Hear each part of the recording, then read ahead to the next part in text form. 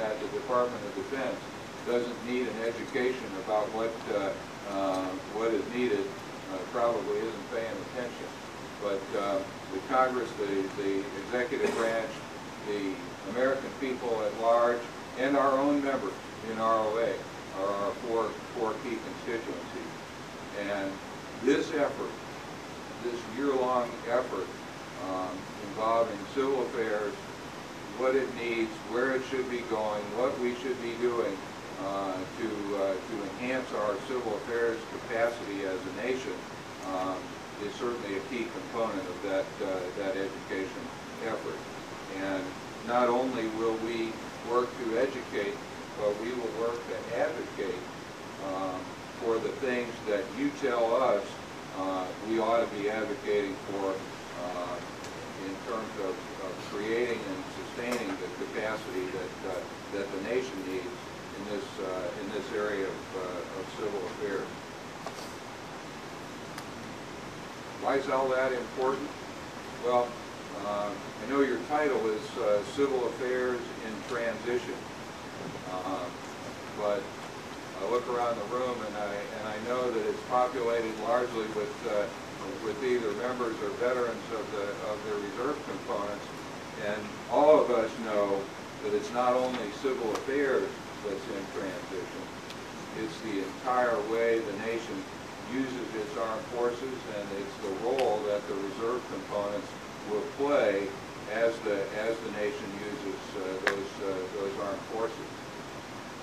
We all recognize uh, that uh, starting in, uh, uh, in 2001, we embarked as a nation on a, a series of campaigns, or what would become a series of, of campaigns.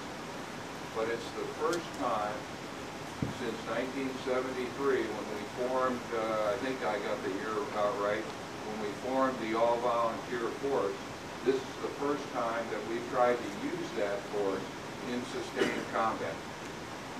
And we're learning a lot about the limitations of the all-volunteer force. We're learning a lot about what we need, not only to, to surge for, for a year or so, as we did during Desert Shield and Desert Storm, but what we need to sustain the effort over an extended period of time in a number of different theaters, in a number of, of different campaigns.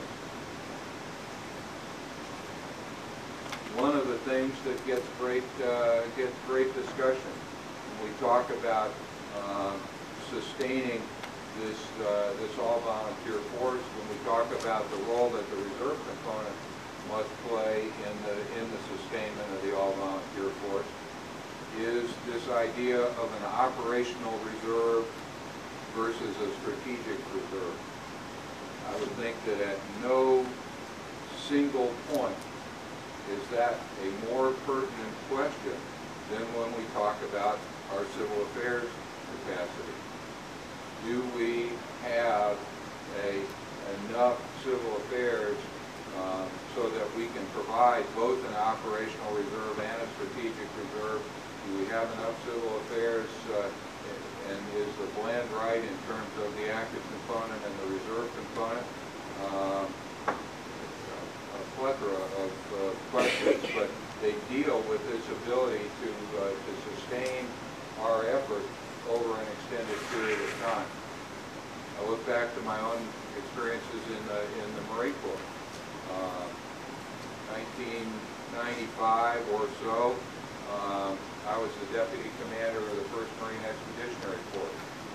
And among my responsibilities um, were to keep an eye on the 3rd Civil Affairs Group, which was a key element of that, uh, of that force, and which was the only civil affairs capacity that one MEF had. when one MEF had uh, deployed in, in 1990 to go to uh, uh, to go to Saudi Arabia and, and on into Kuwait, Third Civil Affairs Group was among the very first elements of the MEF uh, to, to go into Saudi Arabia. Left in August of, uh, of 1990, uh, at a time when the Commandant of the Marine Corps was saying, uh, we will not need our reserves for at least six to eight months. People in the MEF were running around saying, don't tell them, don't let them know that they're here. Anyway, uh, I, I, I'll, I'll guess that Third, Third Civil Affairs Group had, uh, hundred and twenty-five, hundred and thirty Marines and sailors in it at that time. And they could sustain what the MEF required in, in civil affairs throughout the, uh, uh, throughout the, the campaign that lasted about a year in, uh, in Saudi Arabia. But there was no place else to go. Uh, We used the Fourth Civil Affairs Group in that, uh, uh, in that effort uh, to support some, some other forces, the, the, forget the name of the operation, but the Kurdish uh, uh, relief operation that General Shalikashvili and and General Zinni, uh, Tony Zinni of the Marine Corps led. Four Civil Affairs Group supported that, but the fact was, we had zero civil affairs capacity on active duty. We had these two civil affairs groups, both of them about the same size, and how long is that going to last We didn't have to answer that question then, we have to answer it now. Um, I know that in the Army, there has always been some civil affairs capacity in the active component, but I think that the, the majority has been in the reserve component historically.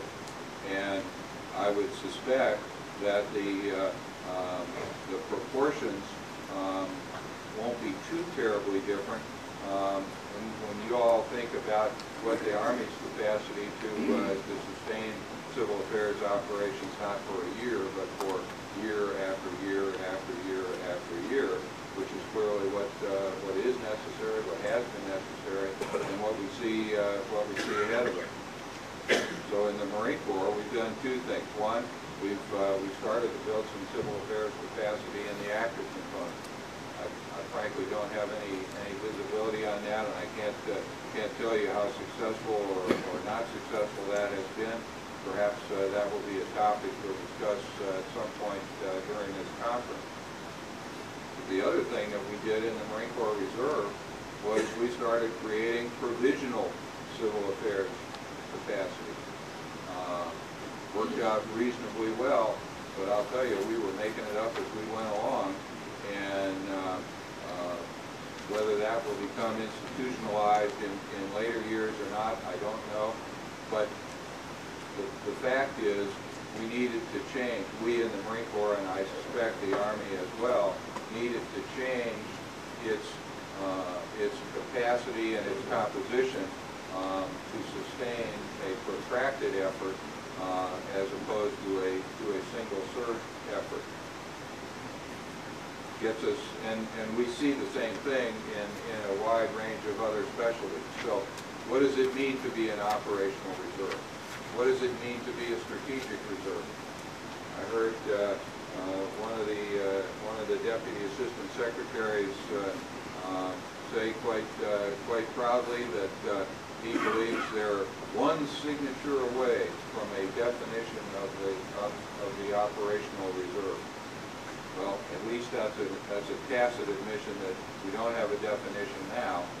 Um, the fact that somebody in, uh, in the Pentagon thinks they're one signature away does not convince me that we yet really understand what the difference is between an operational reserve and a strategic reserve, what we, that we understand what the implications uh, of those two concepts are, or that we have an idea of what balance and what proportion we will need, but I am convinced that we are going to need some of each and that uh, uh, we're going to have to uh, we're going to have to resource those two elements of our reserve differently if they're going to play the play the appropriate role. I tell you all this, I guess, simply because ROA wants to play a role in thinking through these problems. ROA wants to provide venues and opportunities for others to work on these problems.